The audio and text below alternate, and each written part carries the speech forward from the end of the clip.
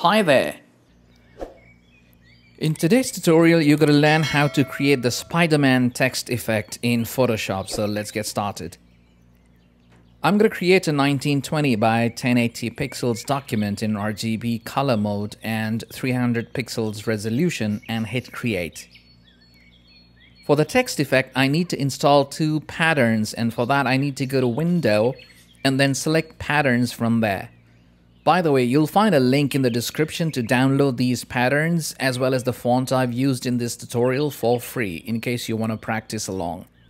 Let's drag the patterns panel out and click the burger menu on top right and then select import patterns.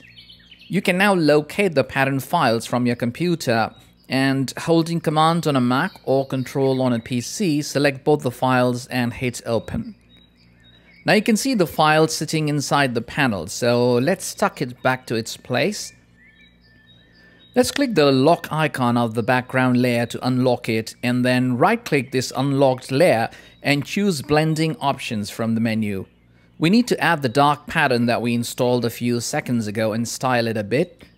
Click the gradient overlay option on the left and update the blending mode to linear burn opacity to 20% and then click the gradient editor.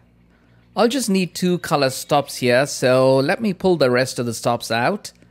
Now click the stop on the left and then click the color once and using the color picker, pick the white color by taking it to extreme top left corner and hit OK.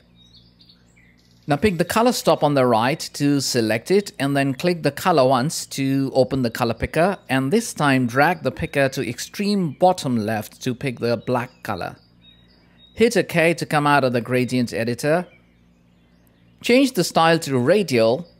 Ensure that your angle is set to 0 degree and the dither box is checked. Now click the pattern overlay option on the left Update the blending mode to normal and opacity to 100%. Click the pattern box and choose the dark wall pattern that we installed in the beginning of this tutorial. Ensure to have the angle set to 0 and scale to 100%. Now hit OK to come out of the layer style. Select the text tool and change the font to aromatics and let's change the font size to 250 points. Let's see if it's gonna fit in properly. And also the font color to white. Actually, let's select bold italics as the font style. And then click once on the screen and type in Spidey in capital letters. I think I'll have to lower the font size to accommodate the text. And then place it in the center of the screen the pink lines will help you place it to the center. Right click the text layer and select blending options. Now focus on the steps as all our work will happen here and this effect is nothing but styling the layers with different styles. Let's start with selecting pattern overlay on the left. Let the blend mode be normal and opacity be 100%. Click on the pattern box and choose the Spidey pattern. Also update the scale to 25%. This will add the main red Spider-Man pattern to your text. Now let's move on to gradient overlay. Update the blend mode to multiply. Change the opacity to 14% and then click the gradient box to create the gradient fill. Select the left color stop and click the color and change it to black. Now select the right color stop and click the color and change it to white. Change the style to linear and angle to minus 90 degrees. Also ensure that the dither box is checked. This effect will help achieve a transition from a slightly dark effect on the left to a brighter zone on the right. Next, let's add color overlay to our text Update the blending mode to multiply. Click on the color box and enter the color code E10505. Let the opacity be 100%. The color overlay will slightly darken the main texture to add some richness to the effect. Let's click Satin Style. and update the blend mode to linear dodge. Click the color box and update the color code to FFE B0D. Change the opacity to 100%, angle to 0 degree, distance to 4 pixels, and style to 16 pixels. Uncheck the invert box and anti-aliased box if checked. Satin adds a yellow and orange glow around the Spidey texture. It's time to add an outer glow, so let's click it. Let's change the blend mode to normal, opacity to 100%, technique to precise, let the spread be 0%, but update the size to 8 pixels. Next, update the range to 55% and let the jitter be 0%.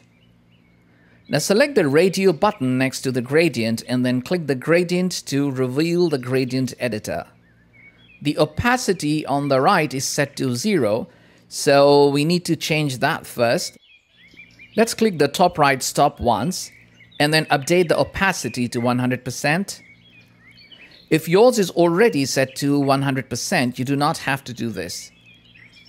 Now we can see both the opacity stops on top on both the corners are black, which means both are set to 100% opacity now. Click the left color stop once and change the location to 21%. Click the color once and update the color code to 111 111 and hit OK. Now click just under the gradient bar once to add another color stop and change its location to 48%.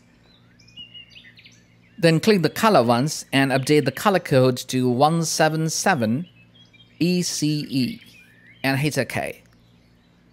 Lastly, click the color stop on the extreme right and update its location to 73%.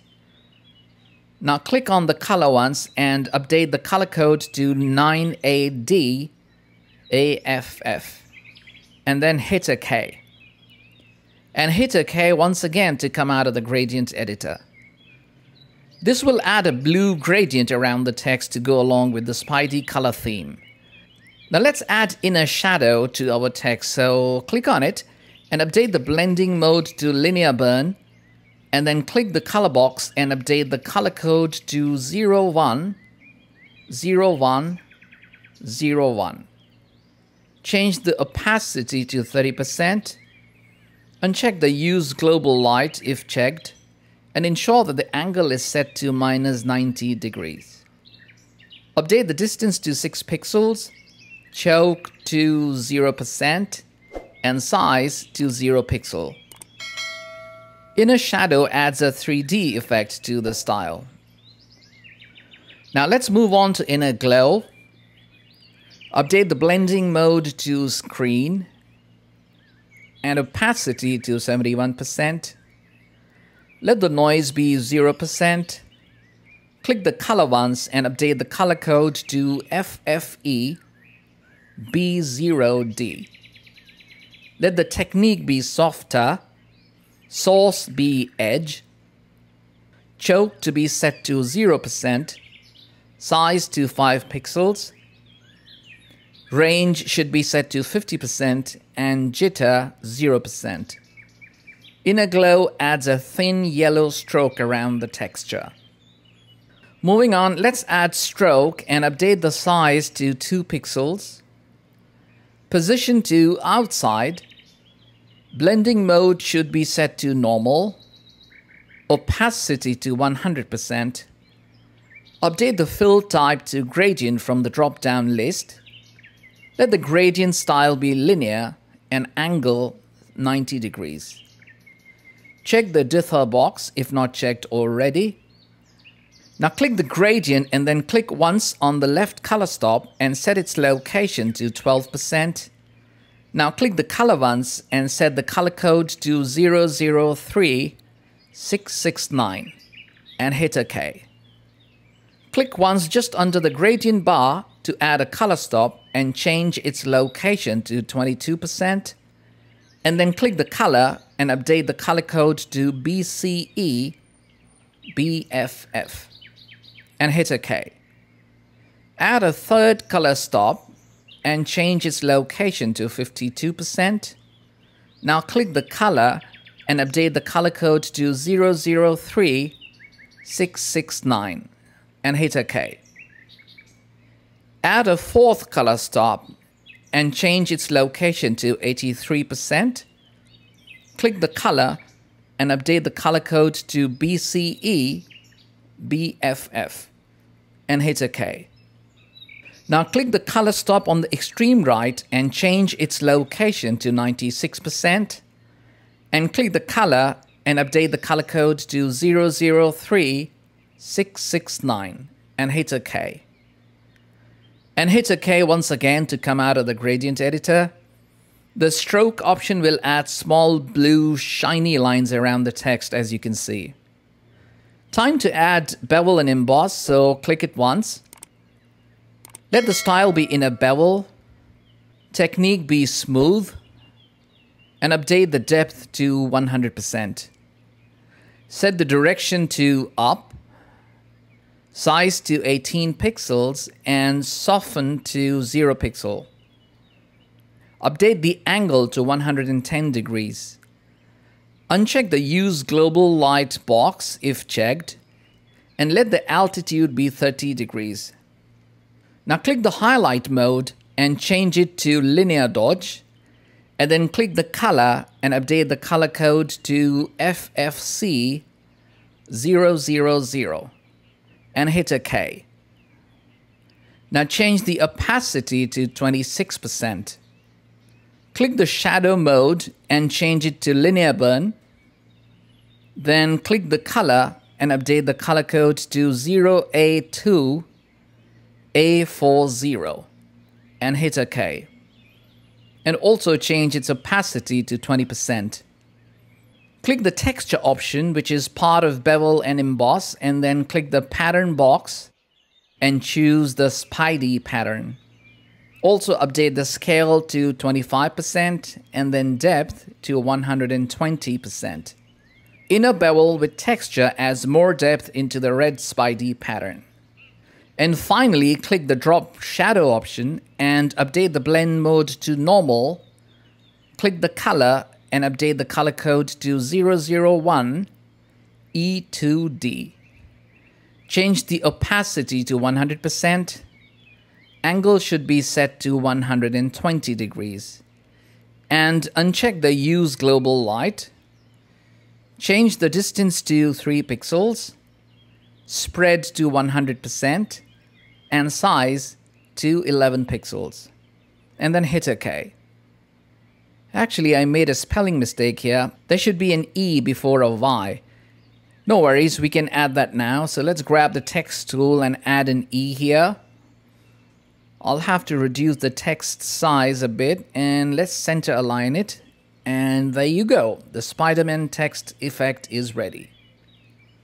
Alright guys, I hope you've enjoyed this video and have learned something new from it.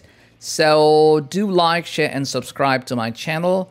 Until we meet again, goodbye and thanks for watching.